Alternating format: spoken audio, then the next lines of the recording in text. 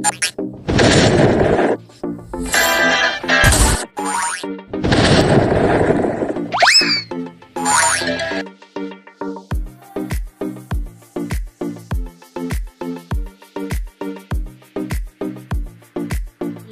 hello everyone.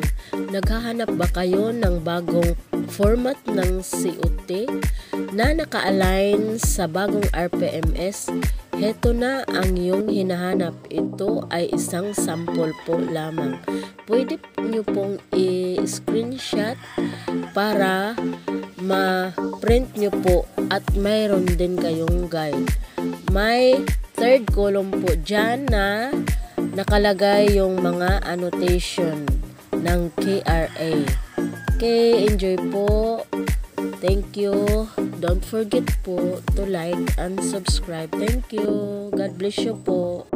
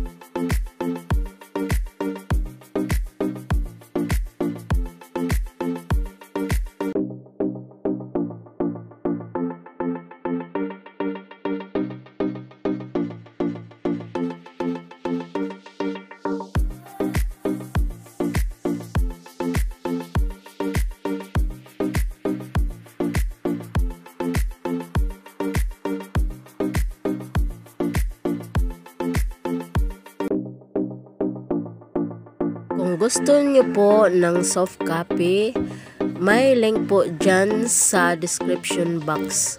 Uh, click nyo na lang po para ma-download. Thank you again. Good luck.